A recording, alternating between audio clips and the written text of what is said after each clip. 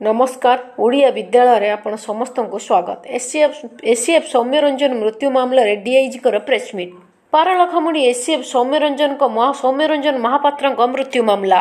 ପ୍ରେସମିଟ୍ରେ DIG କହିଲେ ପରିବାର ବର୍ଗଙ୍କ ଅଭିଯୋଗକୁ ଅଧିକ ଗୁରୁତ୍ୱ ଦିଆଯିବ। ଏବେ ତଦନ୍ତ ଆଗକୁ ବଢ଼ୁଛି ଯାହା ନାଁ ଆସୁଛି ତାକୁ ପଚରାଉଚରା କରାଯିବ। ହତ୍ୟା ନା ଆତ୍ମହତ୍ୟା ଏବେ କିଛି ବି କହିହେବ ନାହିଁ। ତଦନ୍ତ ପରେ ସବୁ ସାମ୍ନାକୁ ଆସିବ ବୋଲି ପ୍ରେସମିଟ୍ କରି ସୂଚନା ଦେଇଛନ୍ତି ଡିଆଇଜି।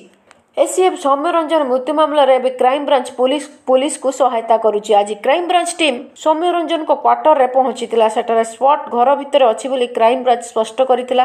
କବାଟର କିଛି ଅଂଶ ପୋଡ଼ି ଯାଇଥିବା କହିଥିଲା। ଏମିତି ବହୁତ କିଛି ତଥ୍ୟ ମଧ୍ୟ ଆଜି ସାମ୍ନାକୁ ଆସିଛି ଯାହା ବର୍ତ୍ତମାନ କ୍ରାଇମବ୍ରାଞ୍ଚ ସ୍ପଷ୍ଟ କରିଛି କାରଣ ଆଜି ଯାଇଥିଲା କ୍ରାଇମବ୍ରାଞ୍ଚ ଯେଉଁ ଯାଇଥିଲା ଆଜି କ୍ରାଇମବ୍ରାଞ୍ଚ ଟିମ୍ ସୌମ୍ୟରଞ୍ଜନଙ୍କ କ୍ୱାର୍ଟରକୁ ତ ସେଠାରେ ବହୁତ କିଛି କଥା ଧରା ପଡ଼ିଛି ଯାହା କ୍ରାଇମବ୍ରାଞ୍ଚ କହିଛି ଆଉ କିଛି ଯେଉଁ କୁହାଯାଉଛି ଯେ କିଛି ପୋଡ଼ା ଅଂଶ ମଧ୍ୟ ସେଠି ଦେଖାଯାଉଛି କବାଟରେ କିଛି ପୋଡ଼ା ଅଂଶ ବି ରହିଛି ଯାହା କ୍ରାଇମବ୍ରାଞ୍ଚ କହିଛି ଆହୁରି ବହୁତ କିଛି ତଥ୍ୟ ମିଳିଛି ଯାହା କୁହାଯାଉଛି ଯେଉଁ ସେକେଣ୍ଡ ଚିଠି କଥା ଆମେ କହିପାରିବା ସେକେଣ୍ଡ ଲେଟରରେ ଯେଉଁ ବିଦ୍ୟାଭାରତୀ ଲେଖିଛନ୍ତି ନାହିଁ ମୋତେ ଡିଭୋର୍ସ ଦରକାର ମୋତେ ଯେକୌଣସି ମୋତେ ଡିଭୋର୍ସ କରାଇ ଦିଅ ବୋଲି ଯାହା ଲେଖା ଅଛି ବହୁତ କିଛି ଡାଟା ମିଳିପାରୁଛି ବର୍ତ୍ତମାନ କ୍ରାଇମବ୍ରାଞ୍ଚକୁ ମିଳିଛି ଆହୁରି କିଛି ମଧ୍ୟ ମିଳିବ ଯାହା ବର୍ତ୍ତମାନ ତଦନ୍ତ ତଦନ୍ତରେ ସାହାଯ୍ୟ କରିବ ପୁଣି ବର୍ତ୍ତମାନ ଯିଏ ରହିଛନ୍ତି ଡିଏଫ୍ଓ ଯିଏ ରହିଛନ୍ତି ତାଙ୍କୁ ମଧ୍ୟ ଜେରା କରାଯିବ ଜେରା ଘେରକୁ ଆସିବେ। ଆହୁରି ଯିଏ ରହିଛନ୍ତି ବିଦ୍ୟାଙ୍କ ସାଙ୍ଗ କୁହାଯାଉଥିବା ମମତା ସିଏ ବି ଜେରା ଘେରକୁ ଆସିବେ ବୋଲି କୁହାଯାଇଛି ପ୍ରେସମିଟ୍ରେ କୁହାଯାଇଛି। ନିଶ୍ଚିତ ଭାବରେ ଆଗକୁ ତଦନ୍ତ ବଢ଼ିଲେ ନିଶ୍ଚିତ ଭାବରେ ଆଉ ଧୀରେ ଧୀରେ କଥା ସବୁ ବାହାରିବ।